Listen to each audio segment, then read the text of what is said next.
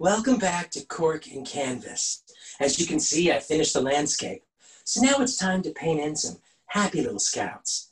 First, you're gonna need to dip your brush into some yellow ochre. Yellow ochre is a magical color. It's just so whimsical.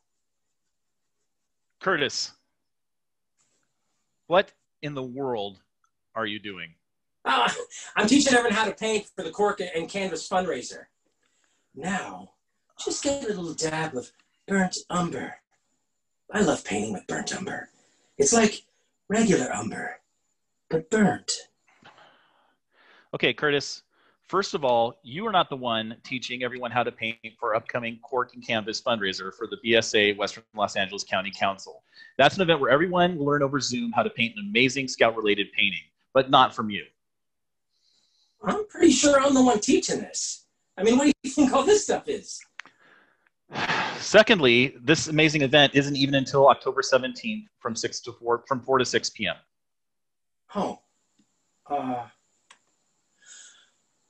well, that'll explain why no one's here. So if I'm not teaching this, who is? That is a great question. That would be Emily, an amazing qualified art instructor from the Bill Hart District, who will be walking everyone through the process of painting a scene depicting marshmallows over a campfire wait a second, if this is on October 17th, I mean, people hardly have enough time to get all their supplies together. Ah, no, that's the best part.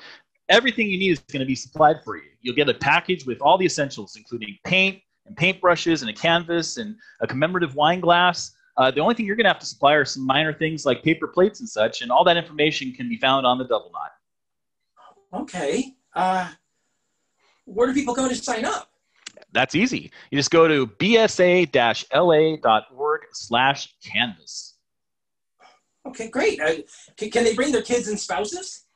Well, they, yeah, they can absolutely bring their significant others or other family members or friends. Um, they can order a kit for two at a significant discount. Unfortunately, it is a 21 and over event, so no on the kids. Okay. And, and you're positive that I'm not teaching this?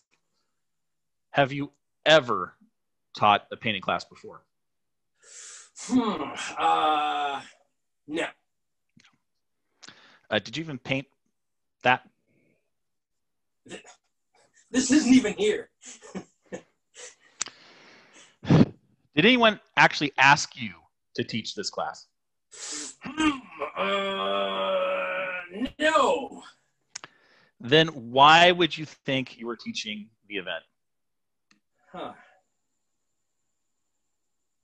Okay. Uh, this just got a little awkward. Yeah, it's pretty awkward. Nice wig, by the way. What wig? Thanks to COVID, I haven't had a haircut since February. What? What did I say?